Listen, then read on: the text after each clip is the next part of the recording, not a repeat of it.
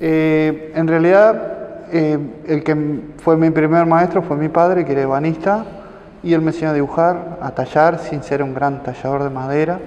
Este, posteriormente estudié dibujo publicitario y fui adquiriendo técnicas eh, a lo largo de, mis distintos talleres donde trabajaba, de ilustración, aerografía, manejar el trazo con el pincel. Este, fui como acumulando conocimientos para, para las artes gráficas. Y por primera vez expuse en un salón municipal importante en Mar del Plata. Este, preparé un cuadro entre un sábado y un domingo, lo presenté y la obra fue aceptada. Y a ver, fue así mi, mi avant premier. Empecé sin querer y después seguí, seguí presentando en salones, estuve en salones nacionales, he conocido grandes pintores que me han transmitido, pero sin decir que soy autodidacta, porque me parece muy pomposo, este, porque uno aprende a través de, muchas personas. Este, no he tenido un maestro referente que me haya formado como artista. Este, bueno, a partir de, ingresar en ese salón, que yo estaba obviamente muy feliz,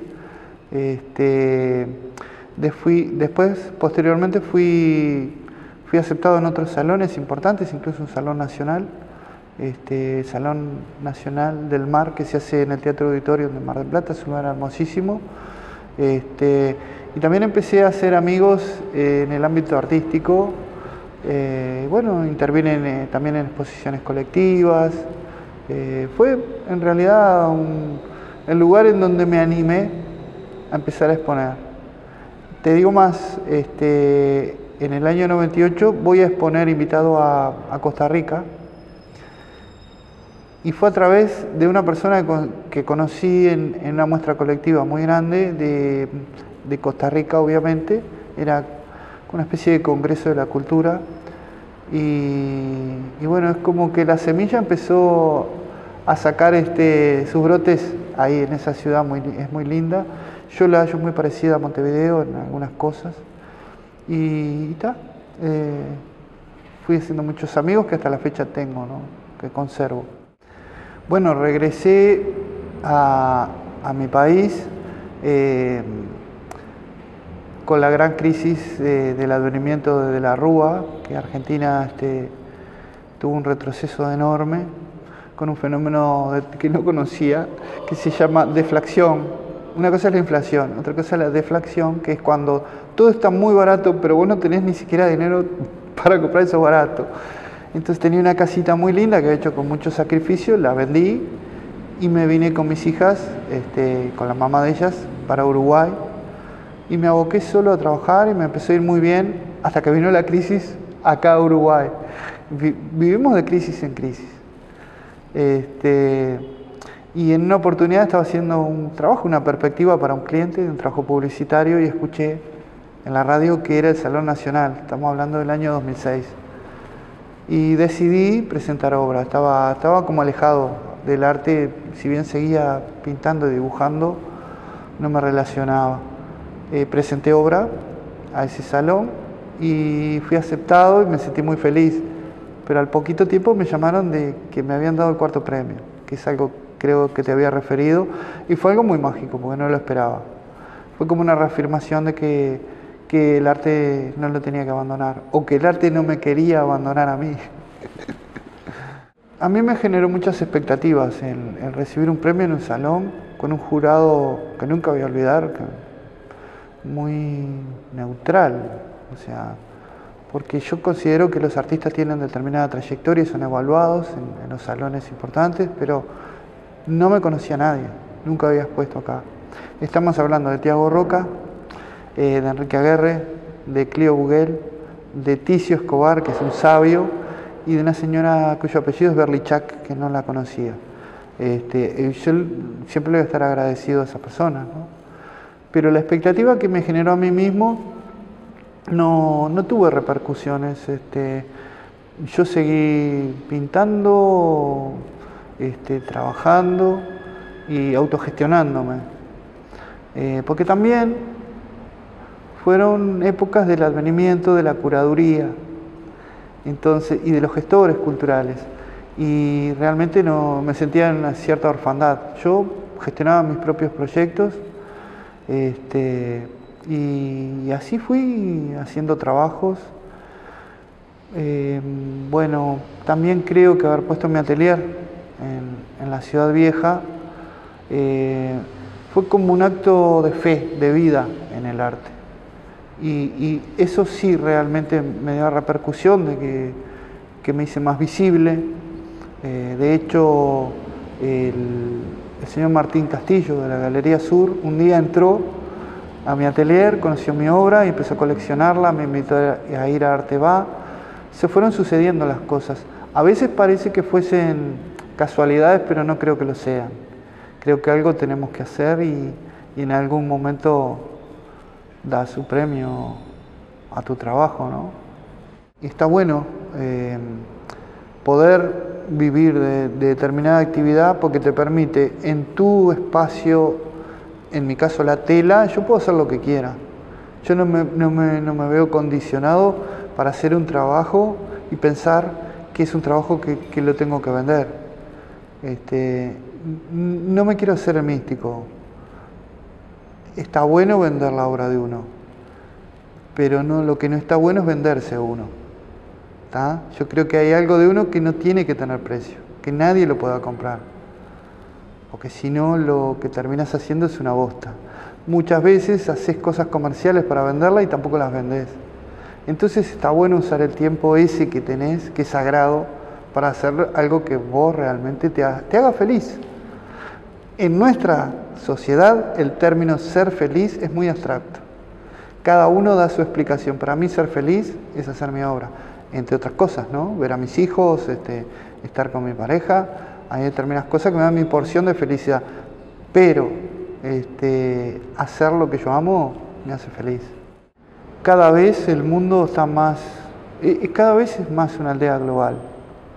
Y estoy seguro que muchos artistas que no son ni valorados ni comprendidos este, en este momento, la noche de los tiempos le va a dar un gran abrazo. Y también estoy seguro que muchos que sí lo son van a ser olvidados. Entonces, este, por eso te hablo de que cuando haces tu obra, hacela de, de verdad, de alma. Este, no pienses en lo que van a decir inclusive. Y sí, en mi caso, mi obra eh, sí se ve alimentada del imaginario, sí. Sí, yo soy un uruguayo más que toma mate, que me gusta el fútbol, que me gusta mirarle la cola a una mujer, ¿entendés?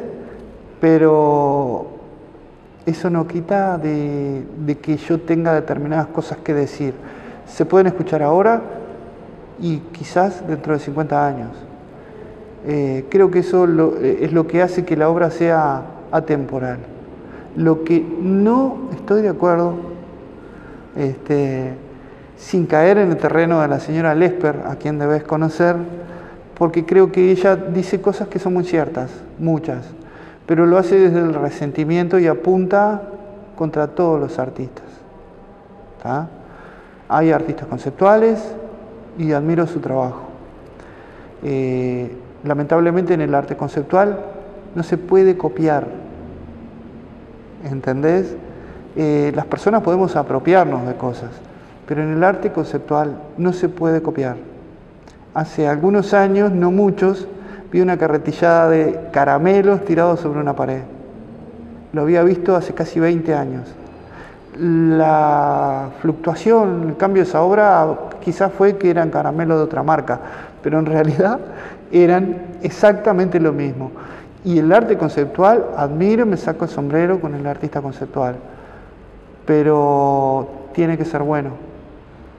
¿Ves? Por ejemplo, cuando ves la obra de, un artista nuestro que es este. bueno, se me escapa el nombre. Eh, Focaccio. Me encanta, es un tipo que trabaja, que piensa. Es un tipo que cuando elabora la obra, si tiene que pintar, pinta. O sea, no hace arte conceptual porque no sepa pintar. Si tiene que hacer algo de escultura, lo hace. ¿Me entendés a lo que me refiero? Lleva una maduración y una factura. Este, y bueno, desarrollar el lenguaje de cada artista y ver qué pasa. Mi obra viene muy de la pobreza. Hubo momentos de mi vida en los cuales este, tuve disponibilidad de determinados insumos, pero después me acostumbré a trabajar con lo que tenía. Como me manejo en la industria publicitaria, estamos hablando desde esmalte sintético y pinturas industriales, pintura de piso, este, lo que fuere. Después fui encontrando determinadas formas de técnica de aplicación, eh, ya sea trabajarlos como grandes acuarelas en determinados momentos, eh, veladuras. Eh, no renuncio a, la obra, al, insumo de la mejor marca si tengo que hacerlo, pero me he acostumbrado a trabajar con con productos industriales realmente. Pero tampoco soy fundamentalista, ¿me entendés? Y con respecto a las telas, sí, a veces trabajo con telas prácticamente encontradas o heredadas de ex eh, suegras eh, de, distintas cosas, cosas con, de pronto que coinciden con algo que está bordado. Este, pero también eh, accedo a, lienzos que consigo en plaza. ¿no? Tengo increíblemente un, un muy antiguo, en el cual hay cosas muy icónicas que me, referencian, pero en ese terreno es libre la libertad. De hecho, hoy disponemos de, Internet, de Wikipedia, este, y podemos, podemos acceder a, determinadas imágenes que nos acomoden, que se acomoden. Este, generalmente llevan un proceso de boceto, de ver cómo funcionan. Hay etapas que los artistas, yo no digo eh, todo, yo digo mi caso. Hay épocas que estamos, yo qué sé, tres meses rompiendo los cocos, en el, vos bocetás y haces cositas y dibujitos y trabajas con tinta, y no necesariamente es tu obra. Pero me di cuenta de que eh, lo acumulativo en esos terrenos, sin saberlo, es material también para ti, que yo a veces consulto sobre libros y dibujos que me salieron en un momento que antes no, eh, no, tenía esa inmediatez de, hacerlo, pero eso me estoy copiando a mí mismo, sí, no me importa, pero es mi, es mi material, el material que proceso. El 611 eh, es el número de la quiniela del minero. Yo hace tiempo he empezado a trabajar, eh, de unos cuantos años, tomando los números, este, por ejemplo, conviven con, las obras de esta muestra, una que hice en el 99 en Mar del Plata, que es la, el número 33 que corresponde a la oveja, y en ese entonces eh, Benetton se estaba comprando media Patagonia. Este, entonces trabajé con, esa marca. Eh, en realidad ni siquiera es una protesta, es, es como algo referencial a la época que estaba viviendo. Y bueno, eh, todo parte de la obra 611, El Minero, que presenté en el último Salón Nacional, eh, que estaba referida al emprendimiento de, la minería, la mega minería a cielo abierto. Este, yo no soy quien para decir que en mi país no debería haber un emprendimiento de esas características. Eh, lo que sí observé es que mm, ese tipo de cosas se tienen que hacer este, con criterios y, quizás no alcance un, solo mandato de un presidente para implementarlo, este, porque puede ser un gran dolor de cabeza. De hecho, este, eh, los recursos hídricos están muy contaminados. Eso fue hecho por la, eh, los sembradíos de, soja transgénica eh, en forma este, poco controlada. Se talaron los árboles de, de, la vegetación ribereña, que eran un filtro para tener más espacios de siembras y bueno, los receptores fueron los ríos y hasta la fecha que alguien me diga cuánto tiempo va a llevar eh, quitar esa contaminación de, de, un recurso tan sagrado como el agua. Este, por eso me sentí con la necesidad de trabajar sobre ese tema que aparentemente eh, hoy, a la fecha, está frenado. Eh, no sé por qué, pero creo que es porque el hierro ha bajado en el mundo su valor y quizás no sea redituable. Este, eso quizás nos jugó a favor. Eh, después en esa obra hay una serie de iconos velados, la libélula, la vaca, la abeja, la mosca, el avión, en fin. Este, y tomé eh, ese cuadro como referencia y fui develando los iconos que estaban velados en la obra. Y son los que forman parte de la muestra. Increíblemente, la muestra se adelantó y algunas piezas que yo tenía hechas encajaron perfectamente en la muestra este, y se conjugaron. Así que a veces, por eso digo, por algo pasan las cosas. No sé, no puede ser casualidad. Eh, mirá, yo, yo tengo, tengo periodos en los que me puedo explayar en un tema y, y otros en que pueda explayarme en otros. Este, yo creo en el trabajo y fui aprendiendo a anotar mis ideas y, y algunas después con el tiempo las desecho y otras no. Este, tengo cosas que, que a veces, este, por suerte, yo pinto mi caverna, no soy gregario, soy totalmente solitario para trabajar, pero hay cosas que te cuento que yo a veces este, toco mis telas y apoyo mi, mi, frente sobre la obra, este, porque no sé si soy yo solo que hago mi obra. Te vuelvo a reiterar, no me hago el místico, te juro que es lo que me pasa. No sé si soy solo yo que hago la obra. A veces convoco un espíritu, viste, de del, primer pintor. Por eso lo que sí te, sí te puedo decir es que a mí me, me influenció mucho un libro que encontré de casualidad, aunque dicen que esa palabra no existe, en una pequeña biblioteca pública de Mar del Plata, cuando vivía allá, tenía que hacer tiempo para, para ver un trabajo y me encontré con un libro grueso así de los aborígenes australianos y aprendí tanto de, esas cosas, de esos artistas, ¿viste? porque a veces la antropología los maneja como que fueron una manifestación de aborígenes. Aprendí mucho de esa gente. Por ejemplo, que en las paredes pintaban peces,